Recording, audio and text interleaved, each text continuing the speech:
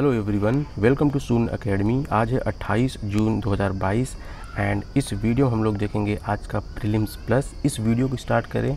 उससे पहले आप सून एकेडमी के यूट्यूब को चैनल को ज़रूर सब्सक्राइब कर लें। बेल आइकन को ज़रूर ऑन कर लें, जिससे कि हमारे आने वाले सभी वीडियोज़ के नोटिफिकेशन आपको मिलते रहें। आप सुन अकेडमी को इंस्टाग्राम टेलीग्राम ट्विटर सब जगह फॉलो कर सकते हैं। एंड सबका लिंक इस वीडियो के डिस्क्रिप्शन में है। इस वीडियो का पीडीएफ आपको हमारे टेलीग्राम के चैनल पर मिल जाएगा। सिंपली आप टेलीग्राम पर जाकर सर्च करें सुन अकेडमी यूपीएससी या फिर आप इस वीडियो के डिस्क्रिप्शन में जाके लिंक को फाइंड आउट कर लें। एंड ये है हमारा U P P C S prelims 2023 का टेस्ट सीरीज़। ये लॉन्च हो चुका है। आप इसके बारे में एडमिशन जल्दी स्टार्ट हो जाएगा। एंड इसके बारे में एक सेपरेटेड वीडियो ऑलरेडी अपलोड है। चैनल पर आप जाकर वेबसाइट पर सारी डिटेल पढ़ सकते हैं। मॉक टेस्ट भी शुरू होने वाला है U P P C S दो हज़ार तेईस का, जो कि इकतीस जुलाई दो हज़ार बाईस को होगा। एंड आप लोग इसका भी वीडियो, सेपरेटेड वीडियो है, आप उसको जाके देख सकते हैं। सारे वीडियोज़ आपको इस वीडियो के इस वीडियो के डिस्क्रिप्शन में मिल जाएँगे। हमारा जो पहला आर्टिकल है ये है ज्योतिर्गम के बारे में। ज्योतिर्गम की बात करें तो इसको आज़ादी के अमृत महोत्सव के अवसर पर सेलिब्रेट किया जा रहा है जो कि गवर्नमेंट ऑफ़ इंडिया का इनिशिएटिव है to celebrate seventy fifth year of the independence. Okay and इस मतलब ये तो ज्योतिर्गम है इसको संगीत नाटक अकेडमी प्रेजेंट कर रही है एंड इसको वर्ल्ड म्यूज़िक डे के अवसर पर सेलिब्रेट किया गया। अगर आ, हम अगर बात करें वर्ल्ड म्यूज़िक डे का तो ये 21 जून को होता है। 21 जून को हमारा योगा डे भी होता है तो आप इसको याद कर सकते हैं बिकॉज़ स्टेट पी में कौन सा दिन किस तारीख को पड़ता है या कब होता है, उस पर आ जाता है क्वेश्चन तो आप इसको याद कैसे करेंगे? देखिए, आपको क्या करना है? आपको संगीत सुनते सुनते योगा करना है राइट संगीत और योगा एक साथ में करना है तो दोनों एक ही दिन होता है। इक्कीस जून को हर साल होता है। अब चलिए हम बात करते हैं अपने नेक्स्ट आर्टिकल की। जो हमारा नेक्स्ट आर्टिकल है, ये है पीजीआईआई स्कीम के बारे में। अगर पीजीआईआई की बात करें तो इसको बोलते हैं partnership for global infrastructure and investment scheme and ये बेसिकली जी सेवन कंट्रीज़ के जो लीडर्स हैं, उनके द्वारा इसको ऑर्गेनाइज़ किया जा रहा है। मतलब ये जो इन्वेस्टमेंट है स्कीम है ये बेसिकली जी सेवन के लीड ये जो जी सेवन कंट्रीज़ हैं, उनके द्वारा ये स्कीम लाई जा रही है। अब अगर हम बात करें जी सेवन तो आप चलिए नीचे कमेंट बताइए कि जी सेवन में कौन कौन सी कंट्रीज़ आती हैं। एंड यस इसको पहले जी एट बोलते थे बट बाद में लोगों ने रूस को बाहर कर दिया तो ये तब से जी सेवन हो गया था। अब रूस को लोगों ने क्यों बाहर किया था? क्योंकि रूस ने क्रीमिया पर अपना कब्ज़ा जमा लिया था, जो कि यूक्रेन का पार्ट था। राइट, एंड इस पर संबंधित क्वेश्चन आ भी चुका है। यूपीएससी में पहले एक दो साल पहले आ गया था, राइट? अब चलिए हम बात करते हैं इस स्कीम के बारे में। देखिए, ये जो स्कीम है, ये बेसिकली इसमें 600 बिलियन डॉलर का फंड देने की बात कही जा रही है। इसमें क्या होगा, इसके थ्रू ये लोग चाइना को काउंटर करने चाहते हैं बिकॉज़ चाइना का belt and road initiative plan चल रहा है। तो ये लोग क्या करेंगे ये लोग जैसे कि जो क्लाइमेट चेंज हो गया या फिर ग्लोबल हेल्थ को इम्प्रूव करने की बात हो गई या फिर जेंडर इक्वलिटी या फिर डिजिटल इंफ्रास्ट्रक्चर को बिल्ड करने की बात तो ये लोग इन सब एस्पेक्ट के लिए 600 बिलियन डॉलर का फंड देने की बात कर रहे हैं किसमें? पी स्कीम में।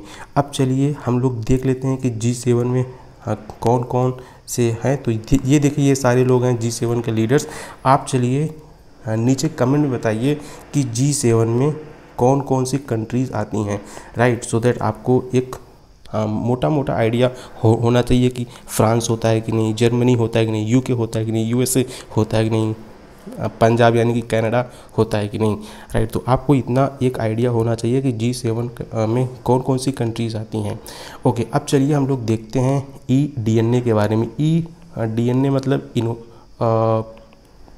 इलेक्ट्रॉनिक डीएनए नहीं होता, बल्कि ई मतलब होता है एनवायरनमेंट डीएनए अब क्या होता है? एक सेकंड एग्ज़ाम में अक्सर ई वेस्टेज करके आता है क्वेश्चन या फिर ई कंप्यूटर करके आता है। तो जहाँ पे ई होता है, हम उसको बेसिकली इलेक्ट्रॉनिक से जोड़ते हैं। बट यहाँ पे अगर एग्ज़ाम में आ गया E D N A is associated with computer hardware something something right तो कई सारे ऑप्शन दे देगा। तो इसमें आपको इसको एनवायरनमेंट से रिलेट करना होगा। अब हम यहाँ पर बात करते हैं कि एनवायरनमेंट डीएनए क्या होता है। अब चलिए हम एक बार पहले देख लेते हैं कि जो डीएनए वर्ड है, ये क्या है। देखिए, जो डीएनए होता है, जो इंसान के बॉडी होती है ह्यूमन की, उसमें काफ़ी सारे सेल्स होते हैं। सेल के अंदर आपका न्यूक्लियस होता है एंड न्यूक्लियस में क्रोमोसोम पाए जाते हैं। जो क्रोमोसोम में आरएनए भी होता है डीएनए भी होता है राइट? तो डीएनए ये वो वाला डीएनए है। एंड डीएनए में काफ़ी सारी इन्फॉर्मेशन छुपी होती है। बेसिकली इसमें जेनेटिक इन्फॉर्मेशन छुपी होती है। All right right. अब हम बात करते हैं इन्वायरमेंट डीएनए के बारे में। तो देखिए इंसानों की बात तो हो गई। अब हम बात करते हैं कि जो आ, हमारे अर्थ पे जो बायोडाइवर्सिटी है कहाँ पर कौन कौन से एनिमल रह चुके हैं या फिर रह रहकर हम उसको पता करना हो या तो हम उसको सिंपली काउंट करें या फिर हम उस या फिर हम वहाँ का एक छोटा सा हिस्सा का कोई भी सैंपल ले लें एंड फिर हम उसको इन्वेस्टिगेट करें कि यस यहाँ पे कौन कौन से एनिमल के डीएनए पाए जाते हैं। जैसे कि अगर हम आ, तालाब में गए, वहाँ पर हम, वहाँ का जो वेस्ट वहाँ का जो कुछ वाटर होता है या फिर वहाँ का जो सैंड होता है, मिट्टी होती है, हम उसको इकट्ठा कर लें एंड हम उसको लैब में जाके उसका हम एनालिसिस करें। तो हम वहाँ पे फाइंड आउट कर सकते हैं कि यहाँ पे इस इस एनिमल का ऐसा ऐसा डीएनए मिल रहा है। मतलब यहाँ पर ये ये एनिमल रह रहा होगा या यहाँ पर ये ये एनिमल रह रहा है। आप या ओशन का सैंपल ले सकते हैं। उसके साथ साथ हम जो टेरेस्ट्रियल होती है मतलब कि जो ज़मीन होती है, फू, जो अर्थ लैंड होता है लैंड होता है, हम वहाँ का भी सैंपल लेके इसकी जानकारी इकट्ठा कर सकते हैं। अब क्या है, देखिए, ये जो जो बॉडी सेल्स हैं, वो तो सब जगह रह सकता है, वो तो एयर में भी रह सकता है, वो तो लैंड पर भी रह सकता है, वो तो लिक्विड यानी कि जलीय वातावरण में भी रह सकता है तो सब जगह रह सकता है तो हम इसको कहीं से भी हम सैंपल लेके, हम इसका लेबोरेटरी में हम इसका इन्वेस्टिगेशन कर सकते हैं। अब हमारा जो नेक्स्ट आर्टिकल है, ये है रेडियो एक्सेस नेटवर्क के बारे में है। अगर हम रेडियो एक्सेस नेटवर्क की बात करें, उससे पहले हमको मोबाइल फ़ोन का जनरेशन समझना चाहिए। पहले वन जी चलता था, फिर टू जी आया फिर थ्री जी आया एंड उसके बाद फोर जी अभी फाइव जी के आने की बात चल रही है राइट अभी इंडिया में फाइव जी को may be twenty twenty three में लॉन्च करने की बात चल रही तो इसके लिए एक रेडियो एक्सेस नेटवर्क सेटअप किया जाएगा सो दैट चीज़ें बहुत स्मूथली काम कर सकें सो दैट जो लिटेंसी रेट होता है वो कम हो सके। अभी क्या है फोर में जो लिटेंसी रेट है वो काफ़ी ज़्यादा है। वो हंड्रेड वो टेन से लेके हंड्रेड माइक्रो सेकेंड है। बट अगर फाइव जी की बात करेंगे तो वहाँ पर जो लिटेंसी रेट होगा वो less than one micro second हो जाएगा। अगर मैं बात करूँ कि लिटेंसी रेट क्या होता है तो इसमें बेसिकली आपका नेटवर्क कितना लैग कर रहा है। जैसे कि हमने आ, आ, भेजा हेलो हमने भेजा हेलो सेंड किया मैंने। दूसरे आ, अपने किसी मतलब मतलब दोस्त के पास। तो क्या हुआ, उसके पास लगभग चार या पाँच सेकंड में वो जाएगा। अब ये जो 5G आएगा तो ये चीज़ें इसमें बहुत ही कम हो जाएँगी। तो चीज़ें बहुत फास्ट हो जाएँगी एंड जो उस पर अपलोडिंग, डाउनलोडिंग स्पीड होगा, वो बहुत ज़्यादा हो जाएगा। अभी जैसे 4G चल रहा है 4G में जो डाउनलोड स्पीड होता है, वो 100 जी पर सेकेंड है। बट जो 5G आ जाएगा, उसमें जो डाउनलोडिंग एंड अपलोडिंग स्पीड वगैरह होगा, वो लगभग twenty G B twenty sorry twenty G हो जाएगा। राइट अब ये हो गया जनरेशन के बारे में मोबाइल टेक्नोलॉजी के बारे में।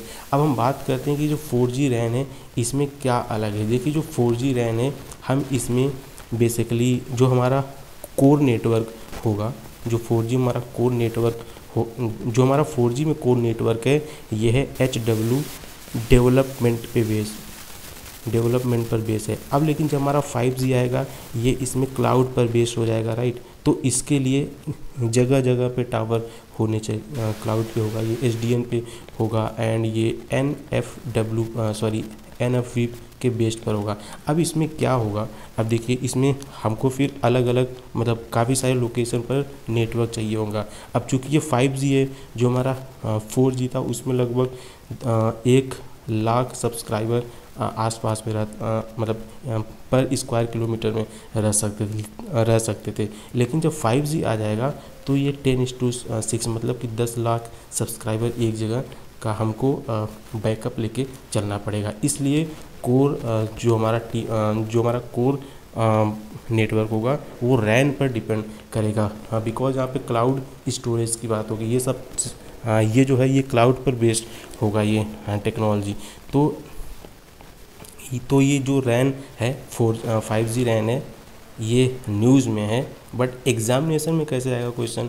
Five G RAN is associated with या फिर इसमें इसका कुछ टेक्नोलॉजी पूछ लेगा, राइट? इसमें या फिर लिटेंसी रेट पूछ लेगा कि इसका लिटेंसी रेट कितना है, ठीक है? चलिए देखते हैं, नेक्स्ट आर्टिकल, ये है D S T I I S C energy storage platform के बारे में। हम अगर इसकी बात करें तो I S C sorry I I S C Bengaluru के साइंटिस्ट ने कुछ एक टंगस्टन के जैसा, जैसे कि टंगस्टन हो गया, उसी की तरह कुछ एक लेयर की खोज किया है, जिसको हम लिथियम आयोन बैटरी में यूज़ कर सकते हैं।